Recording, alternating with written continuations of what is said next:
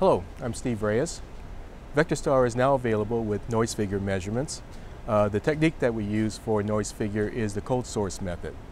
Uh, the cold source uh, eliminates the need for a hot cold source uh, which is going to contribute to the uh, mismatch errors that are associated normally with noise figure measurements. Uh, so what we have is a noise figure available in all of our models, uh, starting from 70 kilohertz and going up to the 20, 40, 50, or 70 gigahertz uh, versions. Uh, typically what you would be doing is going straight into the sampler, uh, in other words, going straight into our, our loops here uh, in order to optimize the noise figure parameter of the receiver.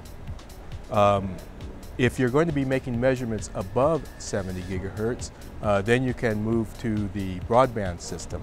Uh, the broadband system uses the test set with the millimeter wave modules. So then when you add your test set, then you can add your module in order to do millimeter wave measurements above to 70 gigahertz.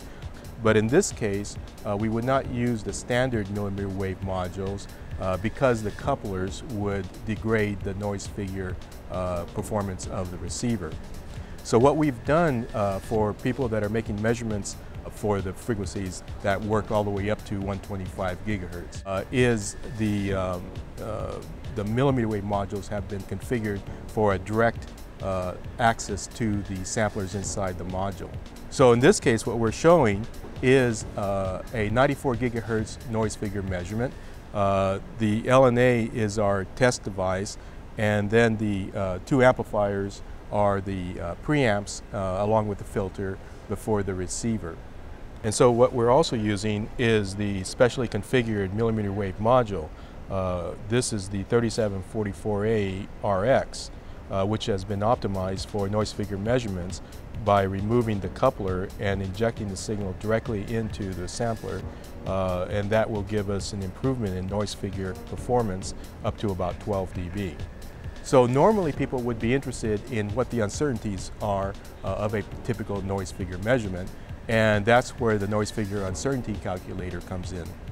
The noise figure uncertainty calculator uh, provides uh, feedback as to what the uncertainties are based on the different parameters, the, the level of noise figure expected from the DUT, the match, mismatch, uh, etc. in the system, uh, as well as the noise figure uh, performance of the receiver itself.